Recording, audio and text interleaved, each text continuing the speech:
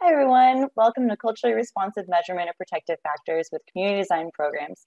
My name is Araceli Figenio, and I'm a project manager at the Capacity Collective, a small group of capacity builders working with nonprofits in the Seattle area. Hi, everyone. My name is Pavel Tanimi, and I'm a helpline intake specialist at Famous in DePaul. And last year, I was a member of our Resilient Families um, Advisory Council.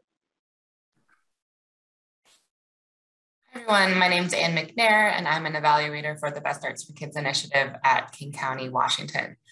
I'll start us off with some background information about the project. Best Starts decided to fund this project based on feedback from community partners who provide home and community based services. These partners told us there's a lack of culturally relevant measurement tools for discussing program outcomes with families. Best Start supports this project because it aligns with our values of racial equity and supporting culturally and linguistically specific programming. It's also an example of both being responsive to community partners and focusing on achieving the desired results from our theory of change. From Best Start's perspective, culturally responsive measurement is key to expanding the portfolio of evidence-based programming so that it includes programs that are developed by and for BIPOC, linguistically diverse communities. By investing in this tool here locally, it can help build evidence for community design programming and nationally demonstrate the value of culturally responsive evaluation. Araceli will now share some more details about the project. Thank you, Anne. So in 2021, the Capacity Collective began the project to develop a culturally relevant multilingual tool for measuring protective factors for families with children under the age of five in King County, a county with over 2 million people and 22% of residents who were born outside of the United States.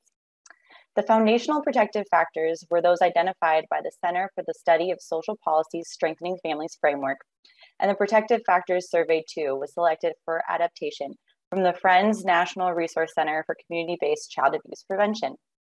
To adapt the survey, the community-driven process included 15-member BIPOC Resilient Families Advisory Council, two literature reviews, interviews with experts, translating the survey into six languages, and testing the survey with 36 families.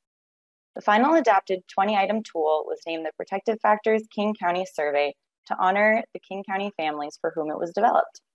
Now Saba will share about her experience on the council. Yeah, thank you, Araceli. Diverse perspectives in the council allowed for rich dialogue for relevant early learning topics, provided a space of learning to build off ideas, and inspired creativity to better serve families.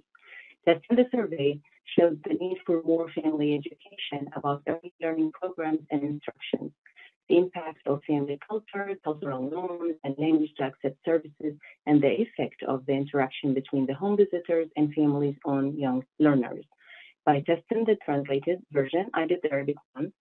We learned that language is only the beginning uh, of adapting survey for immigrant and refugee populations. Families need more support to learn about relevant program offerings in their primary language, and trust building and program orientation are essential before administering surveys. Benefits of the project for RFAC members and the communities they serve were opportunities for active listening and learning from other practitioners in similar roles.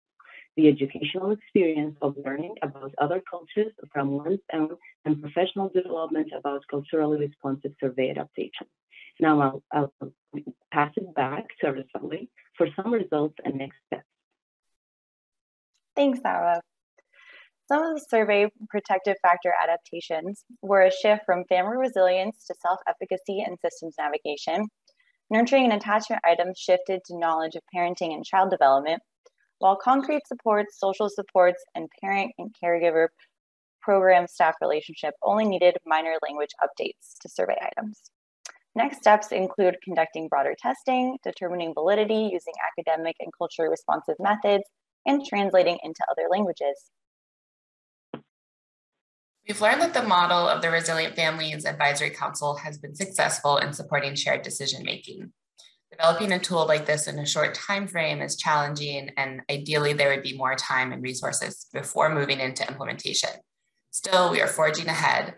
There's strong community support for both the approach and the content of the tool, and the enthusiasm will continue to be nurtured. Please come to our poster presentation session for more information. We look forward to seeing you virtually on March 23rd. Thank you, everyone. Thanks, everyone. Goodbye. Bye.